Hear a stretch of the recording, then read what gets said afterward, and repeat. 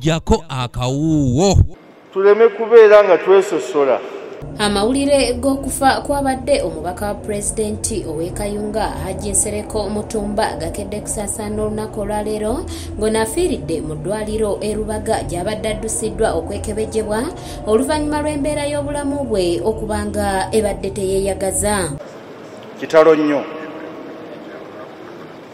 Singa kibadde kisoboka twandisabye mukama era muzza engulu kubanga agendedde mu kaseera ate we tubadde tumwagalira ennyo n'ebirungi bye byatukoledde ebirungi bibe nga bisobola okweyongerayo ku ssaawa kkumi omubiri gwa haji nsereko mutumba gutuusiddwa ku muzikiti gwa old kampala okusabirwa era abantu ab'enjawulo nga bakulembeddwamu sheikh abdalla semambo amyuka mufuti bannyonnyodde ku bulamu bw'omugenzi nti yakedde leero nga mulamu kyokka embeera weetabukidde.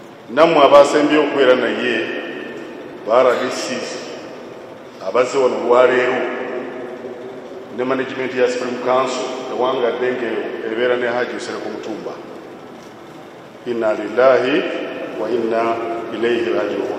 Mufuti wa uganda sheikh shabani ramadhani mubajje mu kwogera ku bulamu bw'omugenzi amutendereza ng'abadde omugattabantu era wano wategeereza nti obuyisiramu buli wamu ng'ero n'avumiridde n'enjawukana.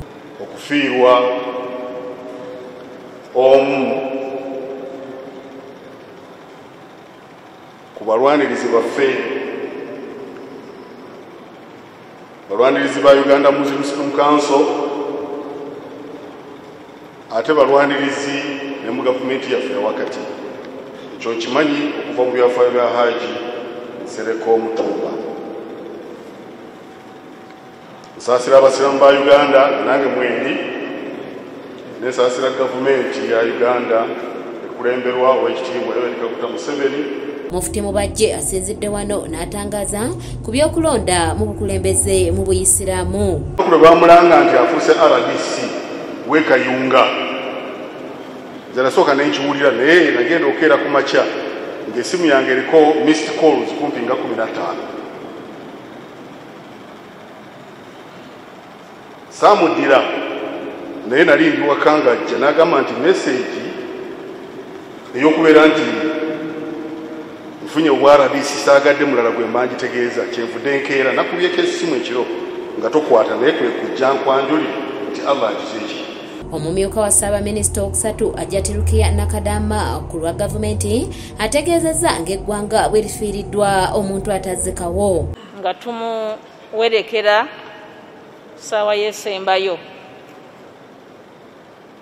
Ndi wano nga nyimiridde ku lwa office of the president presidency minisita omubeezi wa microfinance ajaluna kasolo asabye abantu okukozesa obulungi emitimbagano obutakosa balala wamu ne gavumenti era n'asaba wabeewo obumu mu buyisiraamu. Tusaba allah agaziye kabuli ye asobole okugyeyagaliramu olw'ebyo byakoledde ensi ye.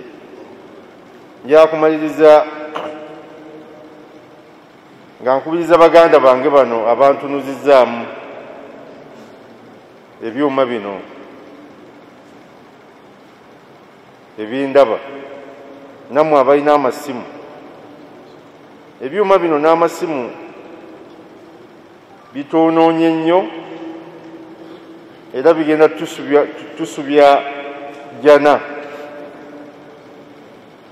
kubanga tubikozesa bubi ajesereko mutumba yaliko omwogezi wa uganda muslim supreme council nga wafiiridde ebbanga ttono nga pulezidenti yakamulonda nga rdc wekayunga ng'ono yabadde yeetabye ne mu lusirika lw'aba rdc olwabadde ekyankwanzi gye yavudde ku lunaku olw'essande ng'ali bulungi. Kitalo nnyo kya haji nsereko mutumba.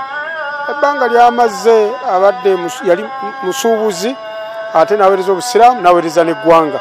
Banga lyaweereza obusuubuzi yali mu sitabatuwa ngaakulira abakinjaje akatale ka sitabatuwa nga yakulira abasazi b'ennyama. Awo ku potbero road ku luguudo olugenda ebizira naye yabakulembera bulungi gyava najja eno aweereze uganda muslim supreme council ngaomugizi wa uganda muslim supreme council.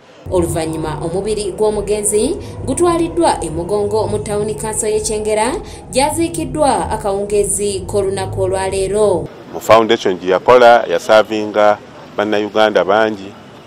Eh, wano ku supreme council abadde mwogezi wa supreme council ebbanga ddene. Nolwekyo tujja kumusuwa nnyo era tumusaaliddwa nnyo. Era kitalo nnyo kitalo ddala. Kanyike kevins yakusakidde eggulire lino ku lwa abs television. N'olwekyo okutonda kwe tekwali wano mu duniya